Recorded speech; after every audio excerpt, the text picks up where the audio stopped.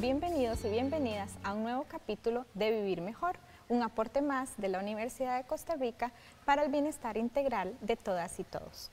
El día de hoy nos encontramos desde la Organización de Estudios Tropicales en la Ciudad de la Investigación de la Universidad de Costa Rica.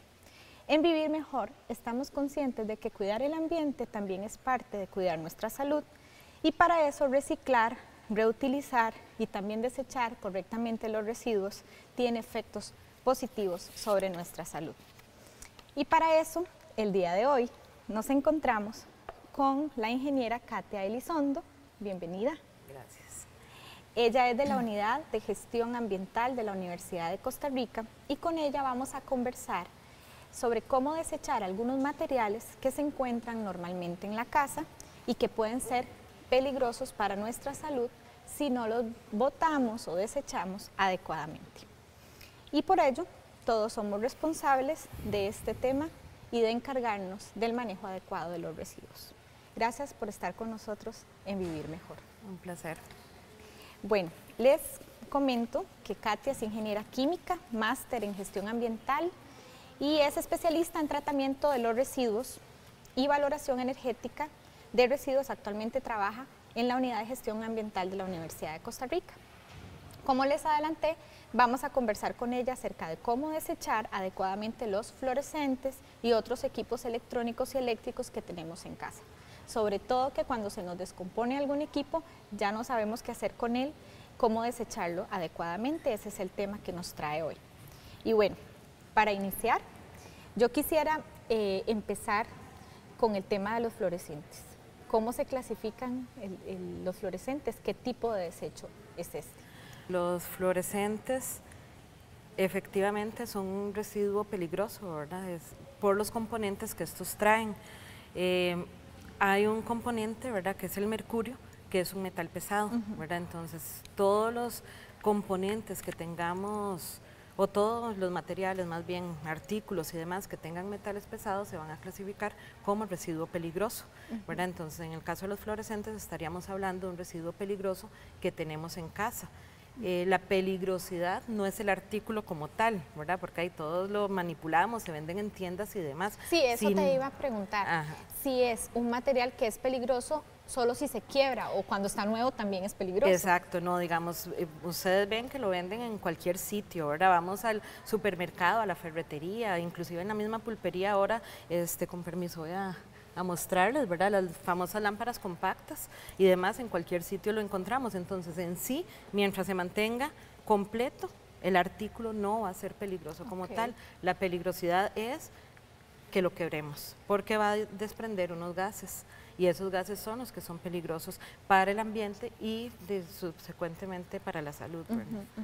¿Y cómo es la mejor forma de desecharlo? ¿Hay pasos a seguir? Eh, sí, es realmente sencillo. Digamos, bueno, tenemos estos que yo creo que son los más comunes en, en las viviendas, ¿verdad? Que son las lámparas compactas que nos están pidiendo, bueno, no nos están pidiendo, ha habido como como mercadeo, ¿verdad? Para que se cambien porque son ahorradoras de energía, ¿verdad? Pero sí, sí se convierten, ¿verdad? Posterior a su uso en un residuo peligroso. Luego están las lámparas o los fluorescentes, los tubos fluorescentes, sí, ¿verdad? En realidad yo pensé que solo esos existían, ¿verdad? Es importante porque estos son muy comunes. Exactamente. son los que más tenemos en la casa. Exactamente. Los demás quizá los vas a encontrar más en oficinas y demás. No quita esto que tal vez en una casa que, no sé, ¿verdad? Tengan una oficina, cosas de ese tipo, vayan, este a tener eh, los tubos fluorescentes, ¿verdad? Pero de esos lo tenemos. Eh, su disposición realmente por parte nuestra es relativamente sencilla, ¿verdad? Si nosotros lo vamos a cambiar, este, esto se cambia debido a eh, de que ya se nos ha quemado de más, vamos a comprar uno nuevo y va a venir en su cajita. Entonces sacamos el nuevo, ponemos el, el, que tenemos descompuesto en la caja y eso sí lo tenemos que custodiar de tal forma que no se nos vaya a quebrar, ¿verdad? Igual el tubo fluorescente. Y eh, sí habría que buscar algún sitio que lo eh, trate responsablemente. ¿Verdad? Esto, digamos, hay campañas que puede ser que sí lo estén recibiendo mensualmente, ¿verdad? Eh, pueden estarse realizando, hay municipalidades que hacen ya particularmente de recuperación, ¿verdad? De residuos eléctricos, electrónicos, puede ser que estén los fluorescentes y sí habría que disponerlo apropiadamente para que esto ya sea destruido de una forma adecuada. ¿Verdad? En los lugares donde se realiza su, su destrucción tienen filtros especiales y demás donde van a captar los gases que estamos hablando. Entonces esto no va a salir al ambiente. Entonces, desde las casas que es, pongámoslo en la cajita, nada nos cuesta, vamos a tener, no tenemos que buscar nada más, es la propia caja que viene el nuevo, ponemos el que tenemos descompuesto y eh, lo guardamos en el momento de que tengamos varias cajitas, podríamos llevarlo a algún sitio, ¿verdad? Igual con los tubos fluorescentes, ¿verdad? Entonces, esa sería la forma adecuada, ahora ya tendríamos que buscar, identificar, deberíamos como... Eh, Ser responsables. Exacto educarnos en eso, porque no estamos educados a buscar un lugar adecuado para llevarlo. O sea, el seguimiento del material que nosotros mismos desechamos. Exacto, ese, ese quizás lo, lo, que estás mencionando es el punto clave. Entender que no tienen que ser terceros, entendamos municipalidades o las instituciones y demás que se hagan cargo de esto. Ahora nosotros estamos hablando de las viviendas, sería la municipalidad, pero eh, ya de un residuo peligroso, digamos, imagínate lo que es ponerlo en el camión ¿verdad? Que se lo lleven de la basura, los, los recolectores municipales, de, va para relleno sanitario y demás, y este, el mío, más el otro, más el otro, van a sumar muchos, ¿verdad?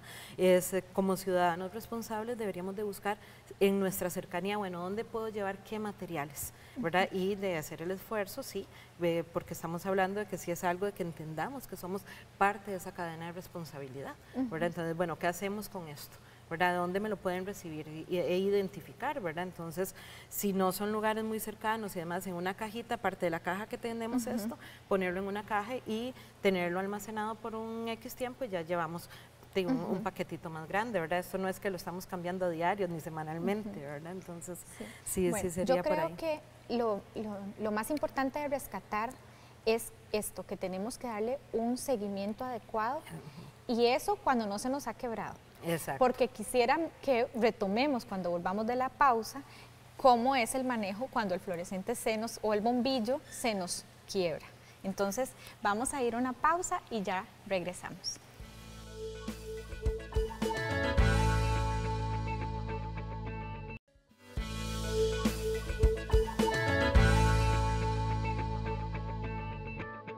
Gracias por continuar con nosotros en Vivir Mejor. El día de hoy estamos hablando acerca de cómo disponer adecuadamente ciertos residuos que se generan en la casa y para ello contamos con nuestra invitada, la ingeniera química Katia Elizondo.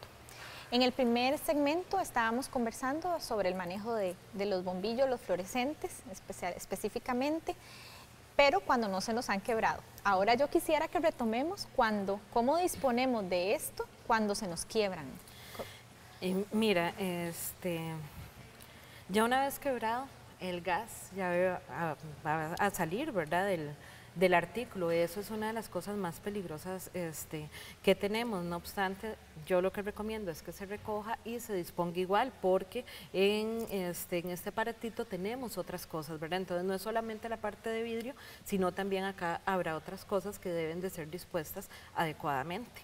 ¿De acuerdo? Entonces, en el mejor de los casos sería igual, digamos, de, este, ponerlo en la cajita y demás, ya el gas no va a permanecer, ¿verdad? El gas una vez que sale, de, se va a, diseminar por el ambiente y listo, ¿verdad? el, el, asunto es no tener tanta concentración, un bombillito no nos va a dar tantísimo problema, no es lo apropiado, ¿verdad? Pero no es que se alarmen tampoco, ¿verdad? Si se quebró accidentalmente, eh, que si es hacer el llamado, no lo quiebren.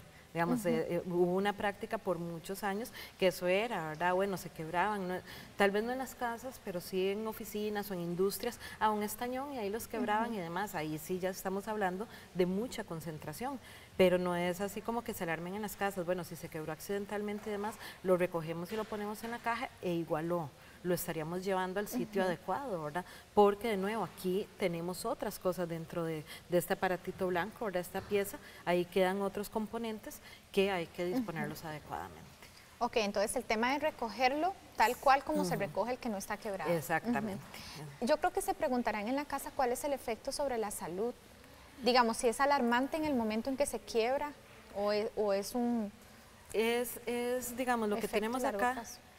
Eh, sí puede ser a largo plazo dependiendo. Este, de momento lo que tenemos acá, eh, el mercurio, por ejemplo, y vamos a hablar ahora de, quizá otros artículos que contienen metal pesado, ¿verdad? Los metales pesados eh, no es, a la hora que decimos metal, ¿verdad? La gente dice así, todo metal es pesado, verdad. No es en cuestión de peso físico, ¿verdad? No es que, que ah, bueno, yo lo voy a alzar y me pesa mucho, una cosa así, sino es el efecto sobre la salud que nosotros vayamos a tener, ¿verdad? Entonces, eh, sí puede causar efectos eh, a mediano y largo plazo, ¿verdad? De estar expuesto continuamente a un componente de este tipo sí puede causar efectos a, mediano y largo, y largo plazo, ¿verdad? Puede acumularse en músculo, puede ir a hígado, puede causar este, otras, otras afectaciones. Entonces, en ese sentido, de, lo apropiado, lo que, lo que se busca es, bueno, si yo tengo el fluorescente y tengo otra cosa y tengo otra cosa, va a haber un efecto acumulativo, por decirlo de esa forma, este, en el ser humano, ¿verdad? Y igual, ¿verdad? Estaríamos en los animales y demás, en todo lo que es seres vivos. Entonces es lo que no se desea. ¿Se debe tomar alguna precaución para almacenarlos? O sea, puede ser que yo compré una cajita de varios, utilicé dos, me quedaron tres. ¿Estos que voy a guardar necesitan alguna...? Eh, siempre que lo pongamos... ¿O alguna eh, temperatura? O... No, no, no, en ese, en ese sentido no. Sí sería eh, que no se quiebren, digamos que no esté expuesto a quebrarse, ¿verdad? Entonces, mientras está nuevo, por supuesto que nosotros tenemos todo el cuidado porque lo vemos asociado a plata, ¿verdad? Dinero. Ah, bueno, no, y yo compré algo y no quiero que se me descomponga antes de su uso. este, pero cuando ya lo tenemos este, ya de residuo, ¿verdad? Ya que lo vamos a descartar, es cuando perdemos los cuidados. Entonces, el mismo cuidado que tenemos cuando lo tenemos nuevo, es el que tenemos que tener posterior. En este caso, no, son, son artículos bastante, bastante estables, bastante inertes y no requieren este, mayores cuidados. Aquí en Costa Rica no tenemos temperaturas que digamos sobre los 50 grados, 40 grados, una cosa así, que, de, que serían quizá temperaturas, exacto, temperaturas extremas es lo que, lo que sería, es más su manipulación. Bueno, y eso aplica para los largos, para los redondos, para los de espiral y para... Para todo tipo, ¿verdad? de de fluorescentes que estemos hablando. Y desde su experiencia, ¿cuáles son las principales dudas que tienen las personas acerca de los fluorescentes y que no hayamos mencionado? No, me parece, digamos, que lo que hemos conversado, ah, ¿verdad? Este, sobre eso, bueno, que por qué es peligroso, ¿verdad? Entonces, de nuevo, retomar que no es el artículo como tal, sino los componentes que este trae una vez que, de que se manipula, una mala manipulación que llevas a quebrarlo y lo que es justamente el almacenamiento posterior, ¿verdad? Cuando ya yo lo voy a descartar, este, y entender, bueno, si en Costa Rica tenemos empresas que sí hacen este, el tratamiento de los, de los fluorescentes, ¿verdad? Y demás, eh, hay en algunos casos que hay que pagar, hay en otros casos este, que lo reciben, lo reciben de gratis porque a la hora que es peligroso ahí sí implica comprar cosas, ¿verdad? Este, insumos y demás para su correcto tratamiento, ¿verdad? Y ya posteriormente esto sale del país para seguir la cadena de tratamiento porque en un filtro que recoge el gas, eso después hay que tratarlo, ¿verdad? Entonces eso sale del país, ¿verdad? A, a países donde tienen la infraestructura suficiente para, darle un apropiado tratamiento en toda la cadena, ¿verdad? En ese sentido.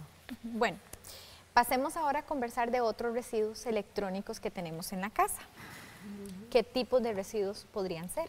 Bueno, hablando de electrónicos, este, sí... O eléctricos, eh, entonces ahí, digamos, este, quería así hacer tal vez la, la, salvedad entre eléctrico y electrónico, ¿verdad? Lo eléctrico es que vamos a ocupar una fuente este, eléctrica, un toma corriente, ¿verdad? Para alimentarlos, entiéndase refrigeradoras, cocinas, televisores, em, no sé, ¿verdad? Planchas, todo esto estaríamos hablando de eléctrico. Ahora estamos en una época donde se nos están cruzando, ¿verdad? Los electrónicos, con permiso, voy a, a tomar por acá, digamos, celulares, esto, bueno, traje como ejemplo, ¿verdad? Este, que son de tabletas, ¿verdad? Y demás, computadoras. Entonces, por ahí andaríamos con electrónicos. Eh, una impresora, por ejemplo, y tenemos ahí ya un combo, ¿verdad?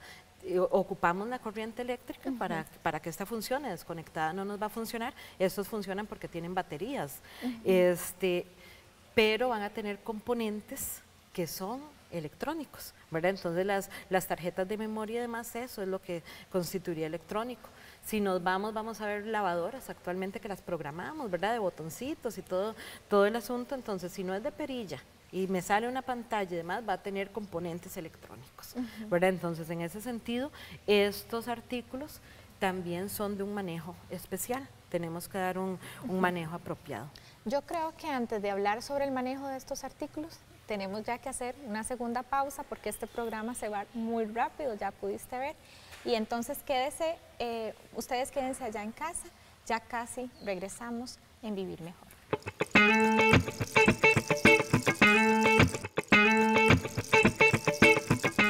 Juan Manuel Camacho. Nos encontramos en los circuitos biosaludables de la Universidad de Costa Rica y a continuación vamos a explicar los ejercicios de remo. Aquí es importante siempre agarrarse primero y después sentarse para evitar alguna caída. El primer ejercicio que hacemos es una flexión de codo. Estamos trabajando el tren superior. Recuerden tener la espalda recta y la cabeza al frente. Y con los dos brazos vamos a jalar hacia ustedes. Con este ejercicio es importante hacer una correcta respiración donde cuando hacemos el esfuerzo botamos el aire y cuando estamos descansando, ¿verdad? Tomamos aire. En este ejercicio se pueden hacer unas tres series de 20 a 15 repeticiones. Después vamos a hacer el mismo ejercicio pero con solo un brazo, manteniendo la postura. Las piernas en este momento son más pasivas, más que, más que todo están en posición de control y aquí estamos trabajando el tren superior y cambiamos de mano. En este ejercicio estamos trabajando más que todo el antebrazo. Otro, otra adaptación para este ejercicio es con las manos abajo, primero con las dos manos juntas. Aquí estamos trabajando más que todo el bíceps y recuerden la respiración, es muy importante. Entonces, cuando hacemos el esfuerzo, vamos a botar el aire. Entonces, aquí tomamos aire, botamos aire. Y igual lo vamos a hacer con un brazo y lo vamos a hacer con el otro. Es importante que no haya un bloqueo en el codo. Okay. Vamos a hacer el tercer ejercicio para incorporarle un poquito más de dificultad Vamos a hacer este mismo ejercicio pero con una pierna estirada, que la pierna contraria del brazo que está trabajando va a ir recta, lo que va a hacer es que le va a provocar un poco más de peso al brazo. Y también estamos trabajando un poco el cuádriceps a la hora de tener la pierna recta. Y cambiamos. No importa si la agarramos por debajo o por arriba con la mano, lo importante es que la pierna esté bien recta. Recuerden que cuando empezamos a hacer actividad física es importante consultar a un médico para saber nuestra condición de salud. Disfruten hacer el ejercicio. Muchas gracias.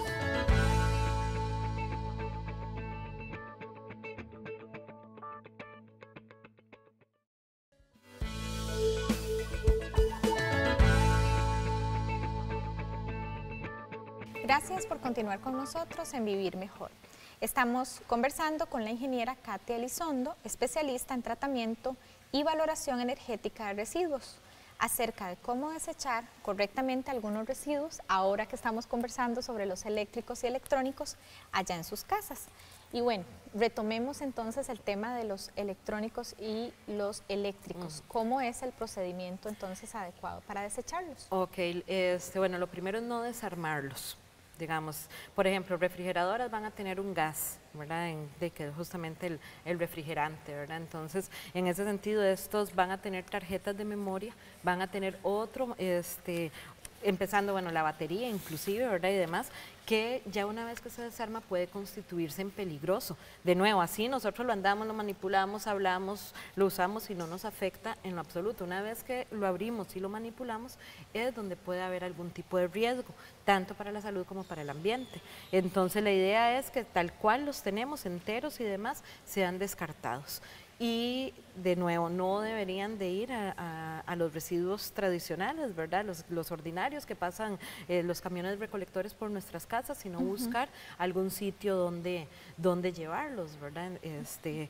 que sí me gustaría, digamos, eh, decir, estos componentes que estamos hablando, tal vez la, este, la batería sí ya sería un desecho como tal, ¿verdad? Ya eso sí hay que tratarlo, porque ya está agotada, ya, ya los componentes no se pueden recuperar y demás.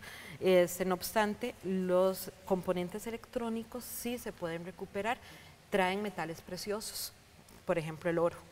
¿Verdad? Entonces es preferible que yo lleve esto y pensar, ah, bueno, de ahí van a extraer en algún otro proceso el oro y lo van a volver a incorporar a los artículos de, este, de esta naturaleza, a que estén en una mina sacando oro nuevo.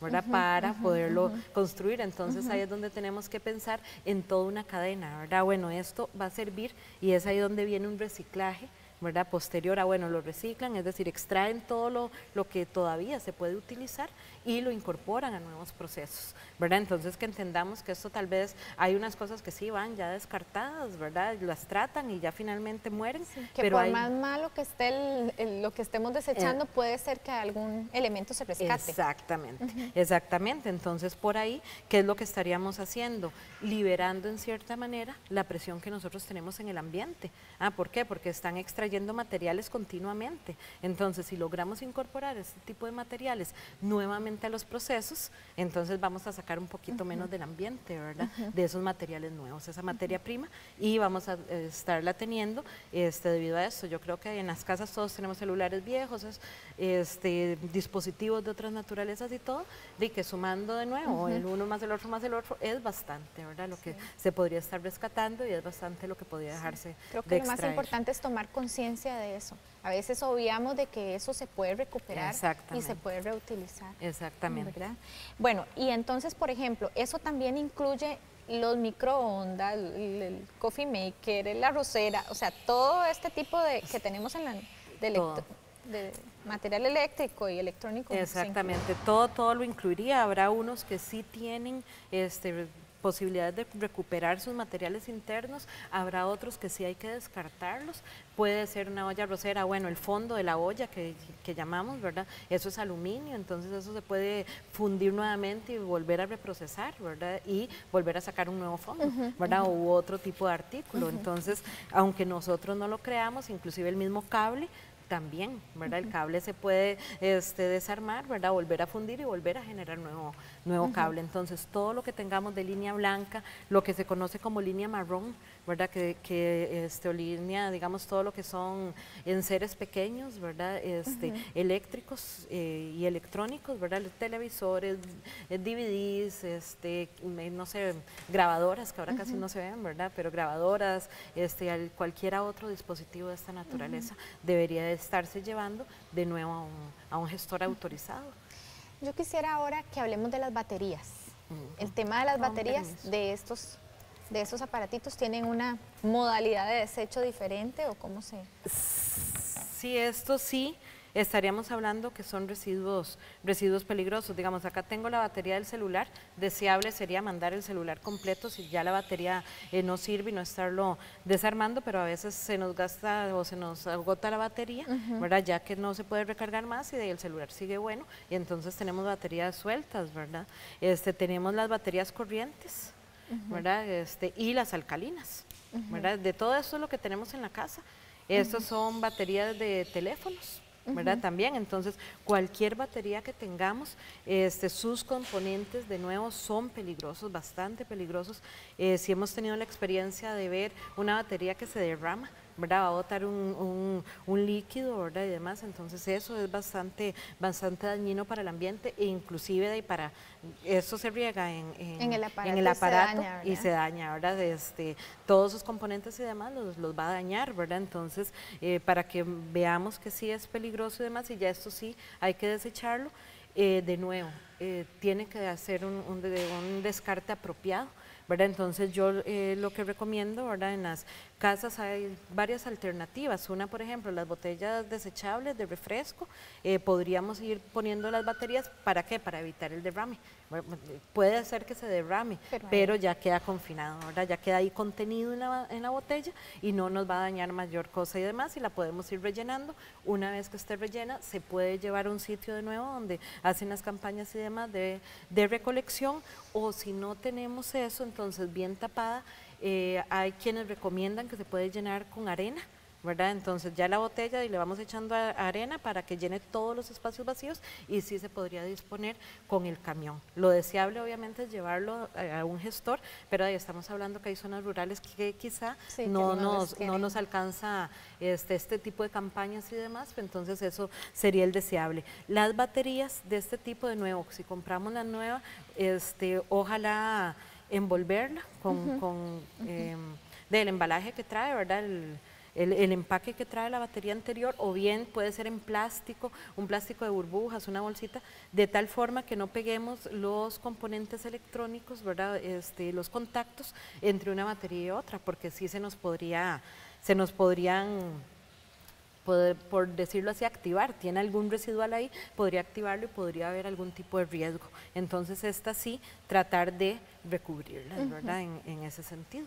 ¿verdad? E igual, es en una cajita plástica, en una cajita de cartón forrada con una bolsa plástica por dentro y demás, de tal forma que cualquier derrame de más lo dejemos ahí contenido, que no lo toquemos con la mano, ¿verdad? Esos, esos derrames, ¿no? Cerramos la bolsa, tapamos la botella y lo llevamos a los sitios, este, en las campañas y demás. Esto va a entrar igual en un proceso donde las empresas lo envuelven y lo llevan a, los sitios adecuados ya para darles el tratamiento último y poderlo descartar adecuadamente. Bueno, Katia, todo este tema realmente eh, muy interesante y muy importante para nuestra salud y también en nuestras casas para nuestros seres queridos. Y bueno, quisimos invitar a la ingeniera Katia Elizondo para aprovechar su experiencia en la unidad de gestión ambiental de la Universidad de Costa Rica en el manejo de los desechos. Son ellos quienes se encargan de, estas acciones acá en la universidad y también de recomendarnos cómo lo pueden hacer ustedes eh, en sus casas. Y bueno, para para agradecerle que nos haya acompañado ya para cerrar el día de hoy con, la revista y eh, sobre todo una última recomendación en sus casas, si tienen alguno, algo más que nos haya quedado. No, me parece bueno que de los temas que estamos hablando, ¿verdad? En ese sentido, este, de, estamos, si abordamos, creo yo, todo lo, lo que tenemos y hacer el llamado de nuevo, que es una responsabilidad de todos, ¿verdad? Es entender que somos cada uno de nosotros, es de, con el granito de arena, ¿verdad? Cada uno, bueno, yo lo hago, el vecino lo hace, mi familiar lo hace y demás, es que vamos a empezar a producir un cambio, ¿verdad? Creo que eso es lo más importante de este programa, realmente cada uno de nosotros ser responsable. Y bueno, muchísimas gracias por este ratito que estuvo con nosotros, esperamos que, que les hayamos aportado. Muchísimas gracias a Katia. Recuerden nuestros horarios eh, de Vivir Mejor, lunes a las 3 de la tarde, miércoles a las 7, jueves a las 11 y sábado a las 5 de la tarde. Y recuerde que siempre hay un tiempo para vivir mejor. Hasta pronto.